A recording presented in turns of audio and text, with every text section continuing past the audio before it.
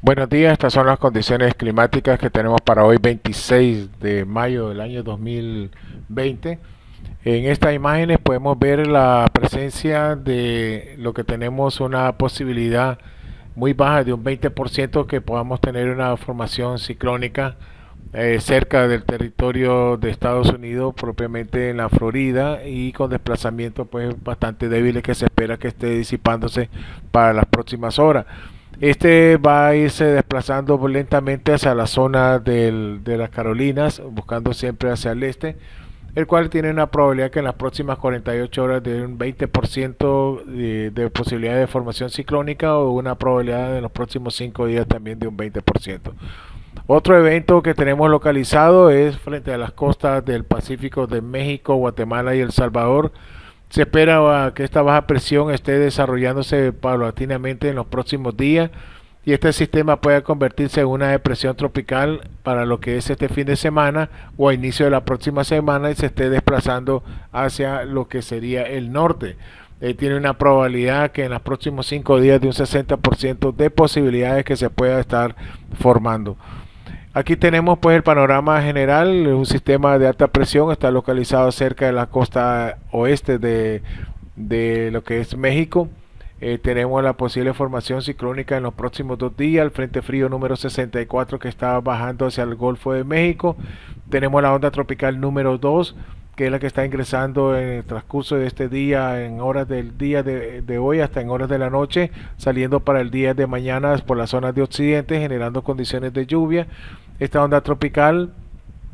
está desplazándose lentamente y esperamos pues que sus condiciones generen lluvia en toda la mayoría del territorio nacional paula, eh, de una forma dispersa. Aquí tenemos el desarrollo de la próxima de 60% para lo que es el desarrollo ciclónico en los próximos 5 días de esta que va atrás de esta onda tropical número 1. En el mapa sinóptico está la onda tropical número 1, la onda tropical número 2, la mayor incidencia está en el Golfo de Honduras, la onda tropical número 3 que está llegando ya a la zona del, de las Antillas Menores. Tenemos una baja presión siempre localizada en la zona del área de Colombia con Panamá. Este es para el día de mañana 27. La onda tropical ya se va desplazando dentro del territorio de Nicaragua y va saliendo por la parte del Pacífico de noroccidente, que es la que nos va a generar lluvia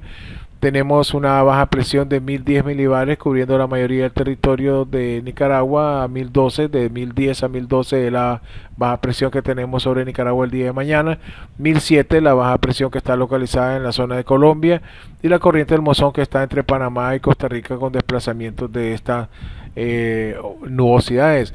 La onda tropical número 3 ya entró a pasada las Antillas Menores, se va desplazando hacia la zona del Caribe y para el día de mañana 28 ya lo tenemos localizado ya en la zona intermedia entre las zonas de eh, República Dominicana y Colombia y sigue su desplazamiento hacia las zonas del Caribe nicaragüense y de Honduras. Para el día 28 pues mantenemos de baja presiones siempre de 1010 a 1012 milibares y 1008 la que está localizada en la zona del área de Colombia. Aquí la podemos ver para el día 29, ya la onda tropical se mantiene siempre en la misma trayectoria, manteniéndose un poco siempre arriba en la concentración de mayor lluvia entre el Golfo de Honduras y la zona de Nicaragua y se espera que esté arribando para más tardar el día 31 de mayo eh, o inicio de la próxima semana que tengamos pues ya cercano este, esta onda tropical número 3. En relación a los frentes fríos, este es el frente frío número 64 que está localizado en la zona de Honduras, viene de, en la zona del Golfo de, de México, desplazándose directamente hacia la zona sur. Esta es la imagen satélite de en estos momentos, la, la pendiente en relación a posibles precipitaciones está que en la corriente del Mozón que se va desplazando aquí en la zona de entre Panamá, Costa Rica, en el Pacífico y Nicaragua, van desplazándose. Eh, tenemos posibilidades de lluvia en la zona de San Carlos, en lo que es la zona del área del Gran Lago de Nicaragua y paulatinamente pues tendremos ya posible lluvia en horas de la tarde con los cambios atmosféricos. Esta es la imagen que tendremos a las 3, a la 1 de la tarde. Vemos que hay bastantes posibilidades de lluvia con tormenta eléctrica en la zona de Rivas, Managua, León, Chinandega y la zona de Estelí hacia Chontales tendrían posibilidades de lluvia. Aquí lluvias ligeras a moderadas, lluvia fuerte a moderada, lluvia fuerte en la zona aquí de arriba y en la zona de, lo que es Puerto Cabeza, Bluefield, pues algunas lluvias que se estarán generando debido al paso de esta onda tropical número número 2 que estará pasando el territorio de Nicaragua. Estas son pues parte de las condiciones actuales que tenemos en el territorio nacional, recomendándoles siempre que tengan precaución con las posibles precipitaciones como también de las descargas eléctricas en el territorio. Muy buenos días, desde el centro Jumbo les habló Agustín Moreira, muy buenos días.